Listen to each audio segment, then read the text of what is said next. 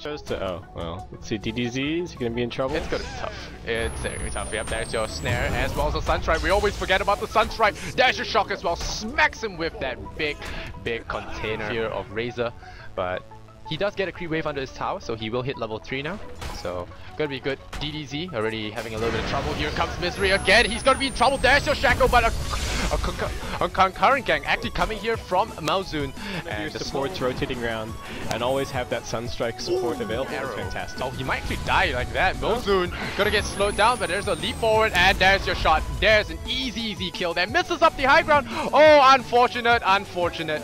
Uh, some, has taken some time in the bottom lane to take some EXP, but now here comes a concussive shot. Is there gonna be a silence? There will. The Wrath of Nature as well. MSS might be in a lot of trouble here. Gets Dragon Tail. Dra Dragon Flame. Nope. He holds Mozun to the spot, and there's gonna be a clap Primal Split, but now he does use it. No time for the silence there. Mozun just being a little bit too slow. Now has his head in the clouds, putting those wings to good use. And now the arrow adds a quick dispel as well. Not gonna get it right the first time, but with the pebble flying right over, Fata does get a kill in the backline.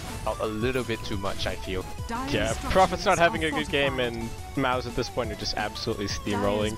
Johnny, honestly, he he tried to move around once he realized that his team was struggling, but it took him a really long time to farm up the mech. Not sure you want to port in there, uh, but another arrow he somehow lands on the lands, and there's your clan. And Johnny flicks in there with the black hole, instantly cancelled because he's a chicken, and pass. He's gonna use the Moonlight Shadow. They're gonna chase in, diving into Tier Force. Arrow Gaming is coming in here. I think Mouse has got this one in the bag. Yeah, definitely seems again. that way.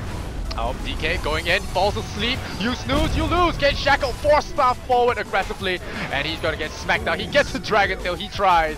But he's gonna die. Four star forward, Sunstrike will land. Fata, amazing invoker play thus far. The Sprout in, oh, they get a kill with the Maelstrom Strike. Misery runs into the fountain. Really managed, my friend.